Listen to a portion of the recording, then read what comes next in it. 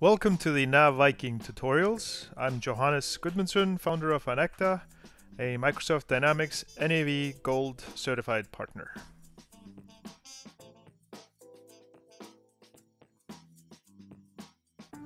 Hello and welcome to the Coffee Mug tutorials. Um, I want to go through manufacturing again today. Uh, we were kind of just talking about the differences between assembly orders and production orders in NAV.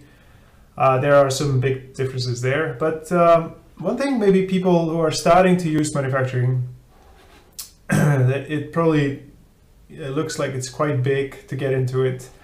Uh, so for example here, if I go into departments, and uh, there's this whole area manufacturing that goes into capacity planning, you know, product development, uh, all of these things, and uh, there are so many aspects very complicated, can be very complicated. But it, it doesn't have to be. You just start jumping into the things, uh, the easiest things first. So like for example, creating a production order, consuming and outputting on it. Okay, is that hard to do in an A? Actually, it is not. Uh, and I'm going to show you the shortest path to that today. So if I go into um, manufacturing, right here, and execution, right? So we get a list of things like planned production orders, firm planned production orders, release production orders. Okay, forget about planned, forget about firm planned. We're not going to talk about that right now. Just go straight into released. Okay, released is the one that's in action. You're going to be interacting with that one, you know, consuming, outputting, all that. So just forget about the other ones for now. Um, we're here in release production orders. This company does bicycles and loudspeakers, right? We'll take that. Um, let's just create a production order for a bicycle. How do we do that? Okay, just do new. And I am not creating a new bill of material or anything like that. I'm just using an existing bill of material in the demo system, bicycle. To create a new one, just hit enter. I get a new number here. And so it asks us various questions here on top. Just uh, go straight into the source, uh, what we're actually going to make. So we're gonna make uh, a bicycle. All right, how many? Let's say how many, 500, so it fills in everything else, so you can see. 500 bicycles, a lot of them. Forget about assigning it, all of that. And then just go um, refresh production order up here. Okay, click on that. And I want everything to be calculated back. I want to calculate the lines, the routings, component need, all of that. Okay, Hit OK. And bada bing, bada boom, I have a line here. It calculated it's going to take me two, three months almost to make 500 bicycles. It's a long time to make a bicycle. But anyways, um, it's all in here. If I go into the line now, into components, I see the component need. We need 500 of each one of these. So it's all one, I guess, that's used.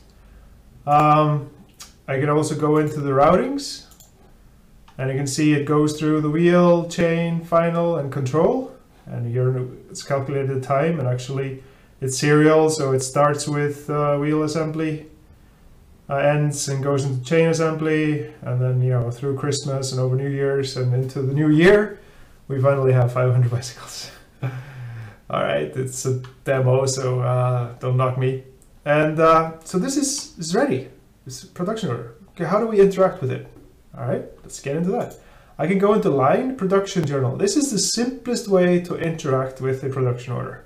You go right into it. Go into the production order right here. Here it's basically saying, okay, you care about two things, two things only.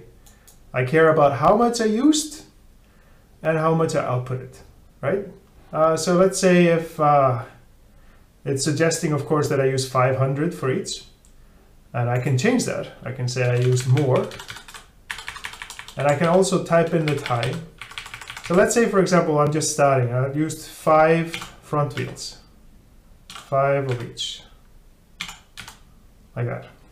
So I'm just going to F8 it down. For people who don't know, F8 will copy above. And uh, here we actually output it 5. Like that. I can also type in the time that it took me, um, etc. Actually, over here, runtime took me 50. That was very quick. Okay, and I can put in the scrap quantity, etc. And then I can just post right here. Post the journal, yes. Successfully posted. And then if I go back, I have now finished five. I've interacted with this production order.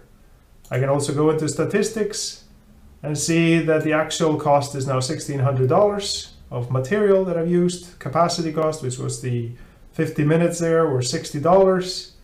Uh, so total cost is this. The variance is still off because I haven't finished my 500. So this production order is in action. So I can keep just inputting and posting there. It will post everything in the backend on the accounting and everything.